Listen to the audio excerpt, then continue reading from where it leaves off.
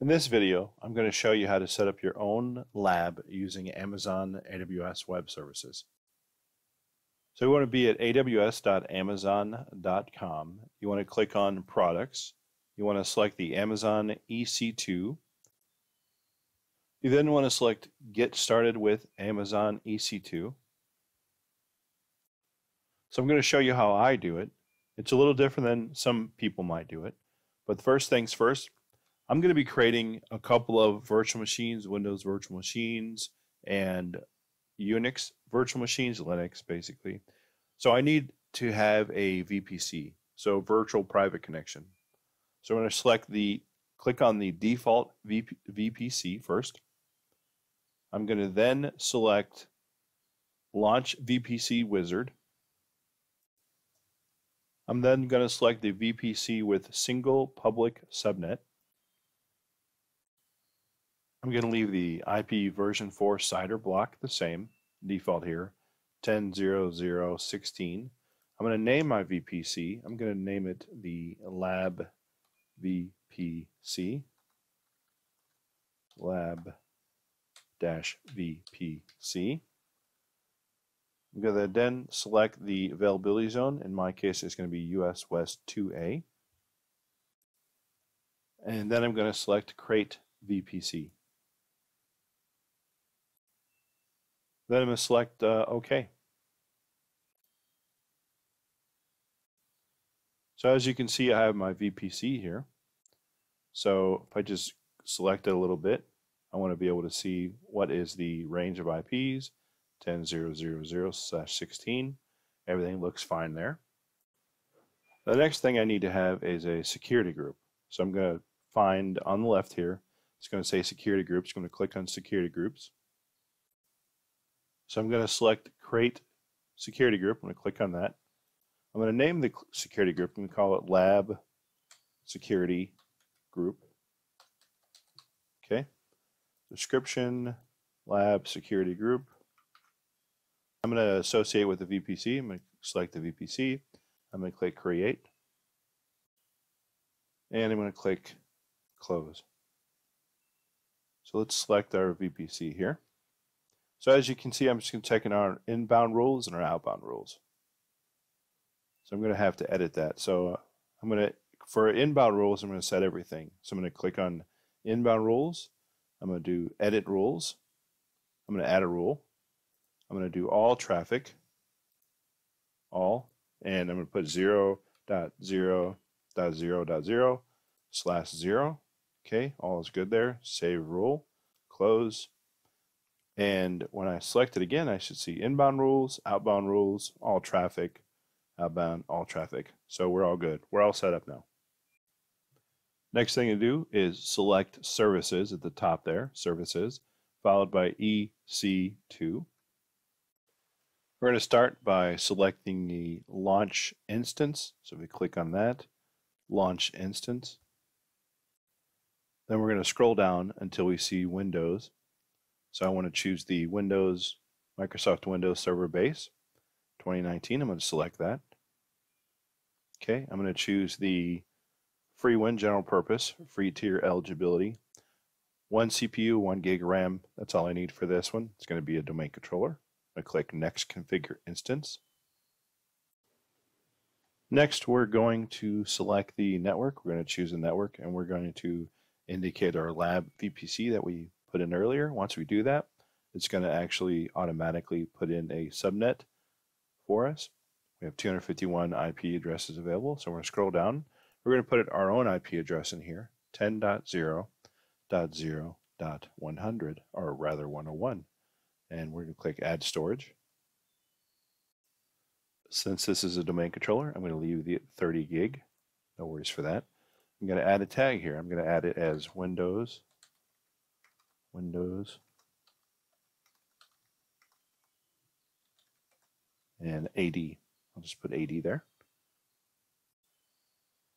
And then I'm going to select Next Configure Security Group. And since we've already created our security group,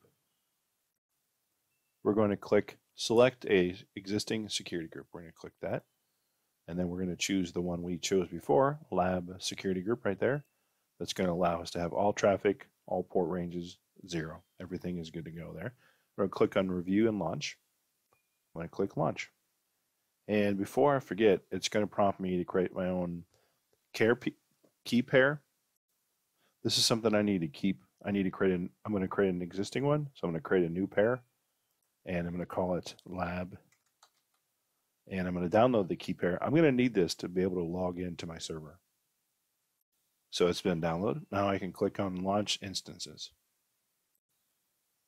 And I'm going to click on view instances down at the bottom there. So I just duplicated the process actually. So there's one more thing you have to do before you have you can RDP into the server. So if we scroll over a little bit, notice we don't have an IP address here, right? So I'm going to select the VM itself. I'm going to go to Actions. Then I'm going to go to Networking and Manage IP Addresses. Once there, I'm going to select the Allocate Elastic IP address.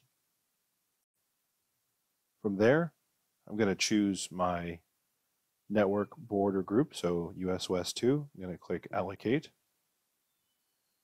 It's then going to give me an IP address that I have here. So it's going to give me an IP address. I'm going to click on the actions, followed by associate elastic IP address. So I'm going to choose an instance. I'm going to choose one instance, that's fine. And then I'm going to select allocate. Okay. I'm then going to go back to my instance here I'm going to push the refresh or the arrow there. And now I see that I have an IP address, public IP address.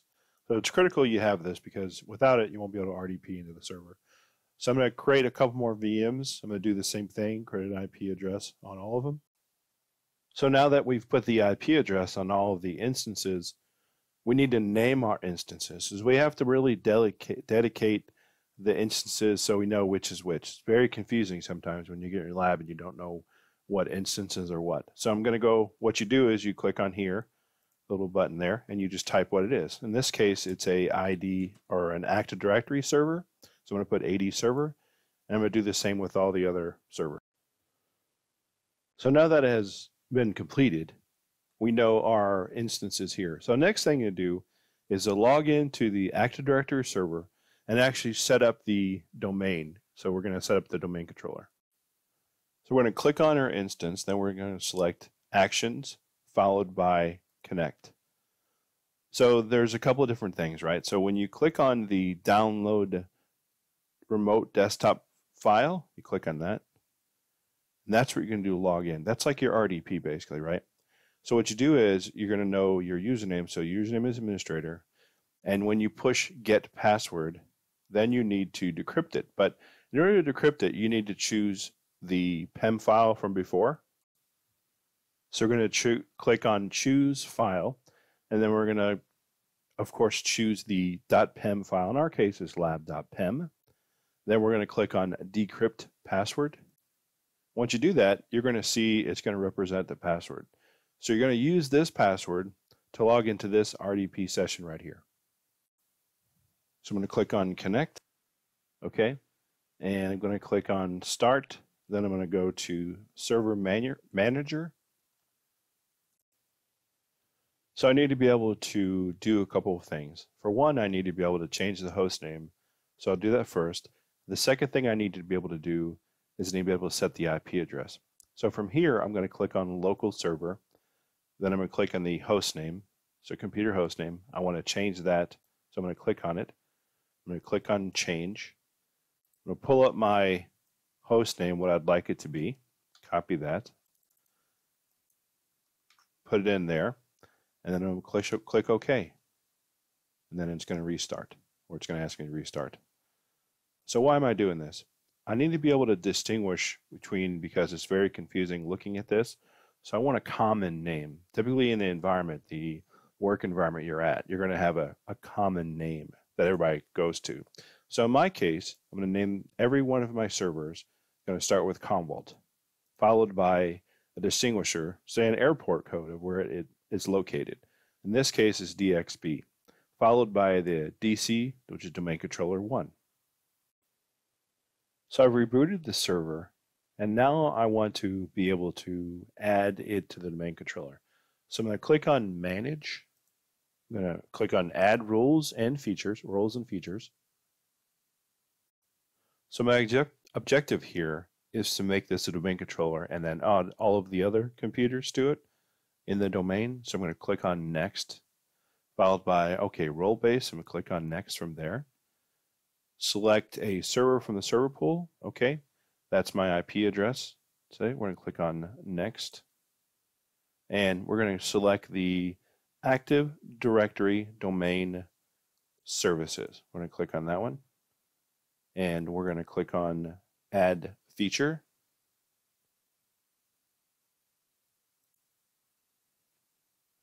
Followed by Next. I'm going to select the .NET Framework 3.5, click Next, followed by Next again, and we're going to click on the install, which is going to start the process of installing the Active Directory Domain Controller uh, features. So once that's done and completed, we want to click on the, go at the top here next to Manage on the flag, if you will, and you're going to select the flag and you're going to select the thing that says promote this server to a domain controller. Once you click that, we want to set up our domain name. So we're going to click on add a new forest. And the name we're going to call our domain name is going to be happydubai.local. That's going to be the the name of our our server or domain controller, excuse me, our domain. So it's happydubai.local. We're going to select next. So we're going to select our, we're going to actually type our password in and then, so our password is going to be very cryptic and very long. So choose your password good because it should be a good password for you. Then we're going to select next. And then we're going to select next again. And the NetBIOS name is going to be Happy Dubai when it shows up or when it pops up. Perfect. Now we're going to select next. We're going to leave everything as default and select next. So you can read all through this. It just means everything is good to go. I'm going to select next, review our options. So it's going to do its prerequisites check and make sure everything is good to go. And um, we're going to come back when it's finished. Fantastic. All prerequisite checks post successfully. So we're going to click on install to install the domain controller. The uh, the uh, domain controller has been successfully uh, installed. Now it's going to reboot. So the server has been restarted. So instead of using the connect here, so we go click on connect, instead of using the download remote desktop file. We're going to use the Windows one. So how do we do that? We're going to select the IP version 4 IP address. We're going to just capture that IP and we're going to log in using remote desktop manager or remote desktop. So since I haven't set up a domain user yet, we're going to still log in with administrator. Okay, so now that the computer has restarted, we're going to set up a user account. So we're going to click on Start, followed by Server Manager. followed by tools, then active directory users and computers. You want to be able to do two things. One thing I want to be able to do, add a user, and also add the other host names, the computers. The easy one first is to create a user. So I'm going to right click on users, go to new, going to say new user. So I'm going to give that user a name. So happy is the name of the user. Next, I'm going to give the user a very strong password that only I know. And I only know it. Okay. And then I'm going to add the user. So I'm going to click on users. I'm going to add that user to the domain admins administrator. So I want to be able to add computers to the domain via this user. So I'm going to click on member of, click on add, followed by domain check name, domain admin. That's what I want him to be. That's what I want this user to be. So I'm going to click OK, click apply, click OK. So we're good to go there. Now I just need to add my computer. So I'm going to right click computers, new computer, and put in the names of my all of my computers. Okay, I'm almost done. There's a good chance that I'm probably going to have to change the IP address of this server, meaning I may have to add a static IP address to it because it's dynamically added.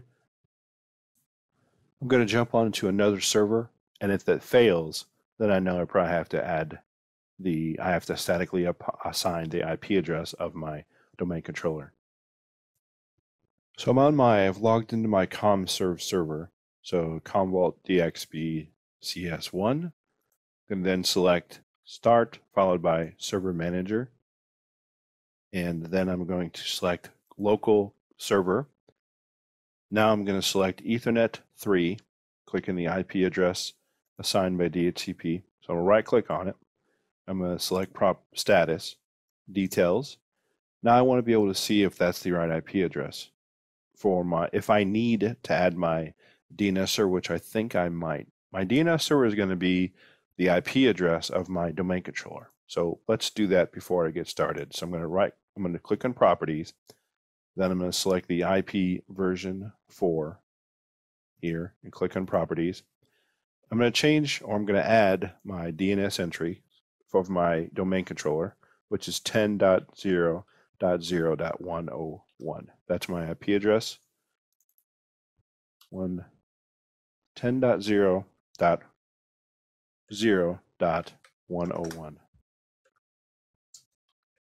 That is the IP address of my domain controller. Click OK, close, close. Now, we're going to just I also want to see if I can ping the domain controller. So let's head over to our domain controller real quick. I want to show you what it looks like. So this is the domain controller, and this is the CommServe server. So I'm going to click on properties of the domain controller. I'm going to select IP version 4 properties. And notice what you see here. You see the loopback address of this domain controller. So that's 10.0.0.100. How do we know that? Cancel cancel. We click on details. The IP address, that 127.0.0.1, that's the same. It's like saying, hey, I'm I'm a 10.0.0.101 IP. It's not in there, but that's what it is. So we know we're good there. So I, I verified that I know the IP address, the DNS name, what it should be of the domain controller. Now I'm going to see if I can ping that server. So I'm going to click on, I'm going to say ping 10.0.0.101. And if I can ping it, I'm good. So now I should be able to set up, uh, add this computer to the domain controller. I'm back here in the Commvault server. I'm at local server under my server manager. I'm going to click on work group. I'm going to select work group and I'm going to change, click on change, and I'm going to select domain. I'm going to put my domain name in here, which is going to be happy Dubai dot local